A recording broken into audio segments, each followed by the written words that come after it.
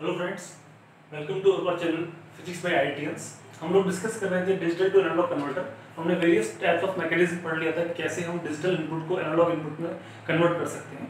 आज का हमारा टॉपिक है कि डिजिटल टू एनालॉग कन्वर्टर का रिजोल्यूशन क्या होता है या फिर स्टेप साइज़ क्या होता है। इसको समझने से पहले हम इसको डिफाइन करते हैं कि रिजोल्यूशन का मतलब क्या है।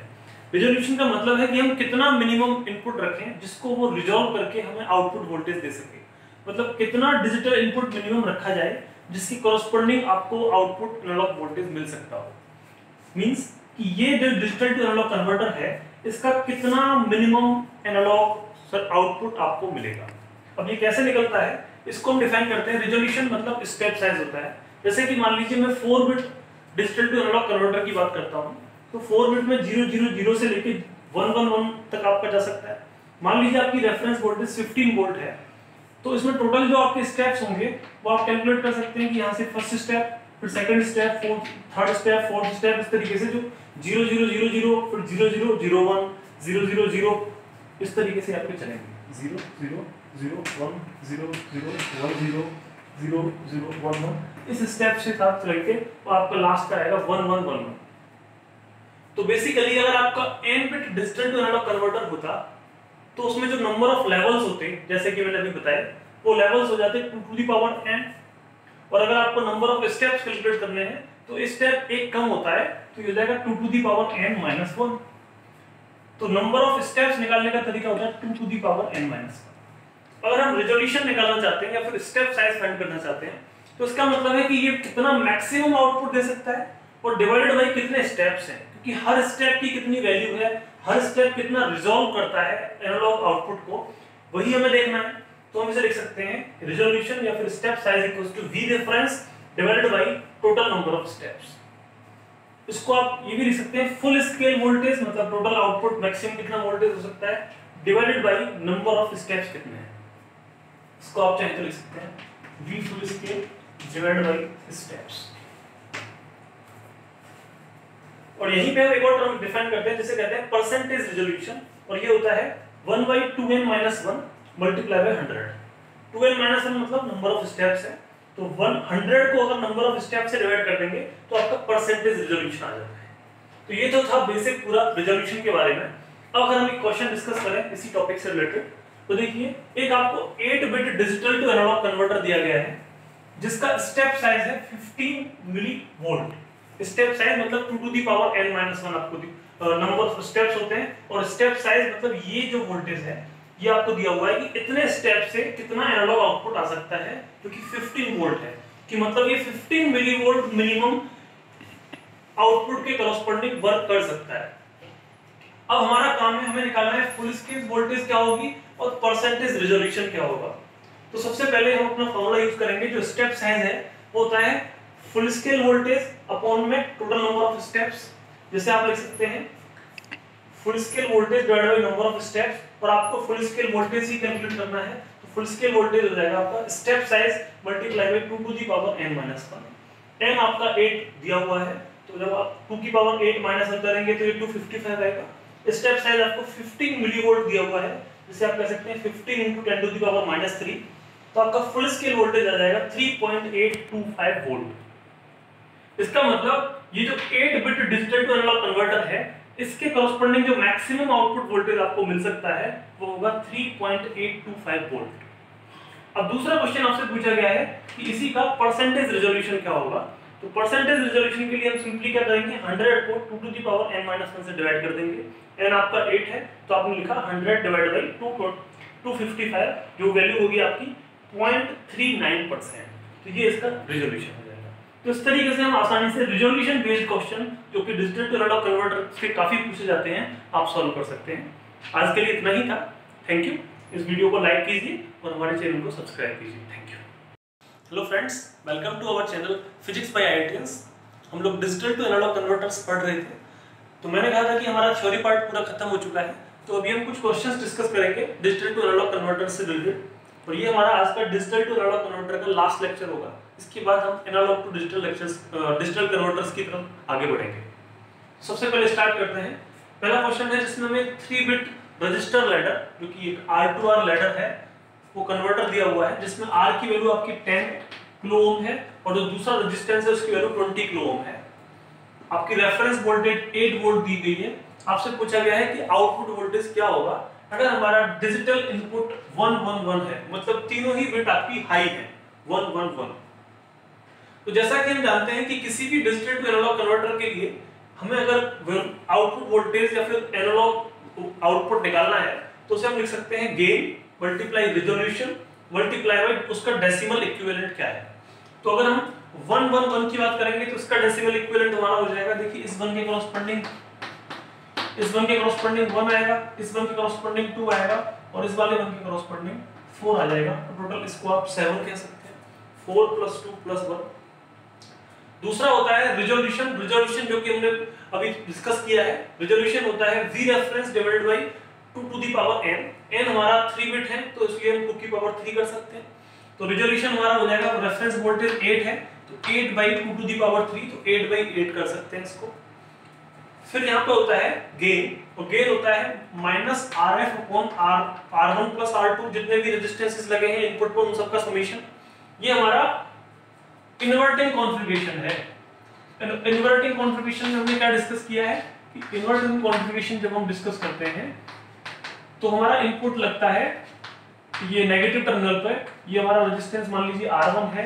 ये मान लीजिए फीडबैक रेजिस्टेंस RF है और यहाँ पर आप इनपुट लगा रहे हैं. तो आउटपुट वोल्टेज जो आती है वो minus R F by R one होती है। इस केस में हमारे दो रेजिस्टेंस लगे हैं, एक 10 किलो ओम का और एक 20 किलो ओम का तो ये हम दो रेजिस्टेंसेस का सम लिख रहे हैं। और अगर आपको आउटपुट करंट निकालना है, जैसा कि इस क्वेश्चन में पूछा गया है आउटपुट करंट की वैल्यू क्या होगी? तो आउटपुट करंट देखिए, इस ब्रांच में जो करंट है, उसको हम आउटपुट करंट कह सकते हैं, ये हमारा वोल्टेज वी आउट है। तो हम लिख सकते हैं V out is equal to minus I not into R F तो आप आई नॉट निकालना चाहेंगे तो हम V not by R F कर सकते हैं। तो ये माइनस आर एफ़ अगर इधर आ जाएगा। तो ये हमारा आउटपुट करंट की वैल्यू देगा। सारी वैल्यूज़ हमें पता है। तो हम लिखेंगे one upon ten plus twenty के क्यों मतलब किलो वी रेफरेंस 8 वोल्ट है 2 टू दी पावर 3 और ये हमारा जो डिजिटल डेसिमल इक्विवेलेंट है डिजिटल का, वो हो जाएगा 4 प्लस 2 प्लस 1 इसको सिंपलीफाई करेंगे तो आपका जो आउटपुट करंट है, वो आ जाएगा 0.2 मिली एम्पियर तो किसी भी डिजिटल टू एनालॉग कन्वर्टर जिसमें ऑप एम्प यूज़ किया गया है, उसका इक्विवेलेंट निकालने के लिए आप सिंपली बस इस इक्वेशन को याद रखिए कि जो आउटपुट वोल्टेज है, वो gain multiply resolution multiply by decimal equivalent कोई भी वैल्यू दी जाए, सबसे पहले तो उसका डेसिमल इक्विवेलेंट निकालिए। रेजोल्यूशन का आपको स्टैंडर्ड फार्मूला पता है, v reference divided by 2 to the power n. n मतलब कितने बिट का आपका डिजिटल टू एनालॉग कन्वर्टर है। फिर आपको गेन निकालना पड़ेगा। गेन के लिए आपको देखना पड़ेगा कि जो एम्प है, उसका कॉन्फ़िगरेशन कैसा है, वो इन्वर्टिंग है या नॉन इन्वर्टिंग है, उसी बेसिस पे गेन लिखेंगे फिर गेन से आगे की आपका जो भी प्रोसेस पूछी गई है आउटपुट वोल्टेज या फिर आउटपुट करंट आप कैलकुलेट कर सकते हैं। इसी तरीके के बेसिस पे एक दूसरा क्वेश्चन है, यहाँ पर डायग्राम पूरा बना के दिया गया है।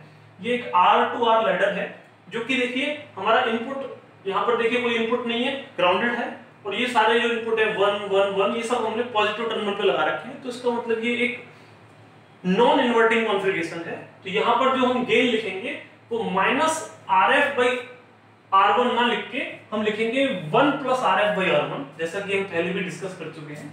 ये कॉन्फ़िगरेशन कुछ ऐसा है माइनस प्लस हमारा आउट जो इनपुट वोल्टेज है, वो पॉजिटिव टर्मिनल पे है।